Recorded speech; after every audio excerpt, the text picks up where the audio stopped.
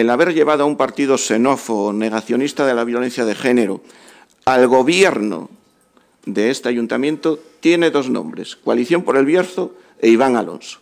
Pues señor Ramón, yo estoy encantado que usted me nombre.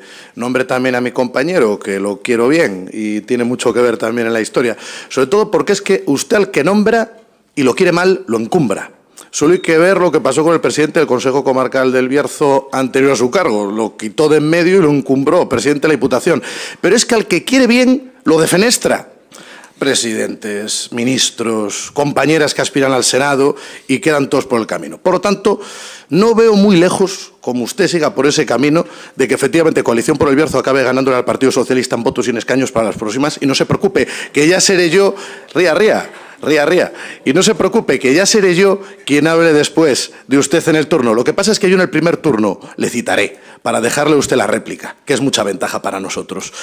Eh, mire, nosotros hicimos lo que mejor consideramos para Ponferrada y estamos muy orgullosos de ello porque queremos a esta tierra y queremos a Ponferrada. Lo más cómodo es 11 y 2, 13. Pregúntese por qué no fue ese, la aritmética. Pregúnteselo porque cualquier observador normal y parcial diría, pero si es lo que cae de cajón, ¿qué pasa? ¿Qué no había en Ponferrada? Porque yo iba a ser teniente alcalde con usted exactamente igual, mi compañero también, y con la dedicación absoluta del 100%, que era lo que evidentemente se dejó claro en los pactos y en los acuerdos que hubo y en las negociaciones. Por lo tanto, usted siga, siga nombrándome, siga nombrándonos, estaremos encantados. Y por cierto, hágalo aquí, en la sesión, en los plenos, que es donde debe hacerlo. Haga política limpia. Usted que tanto habla de que la cosa en su sede, hágalo aquí y ahí lo dejo.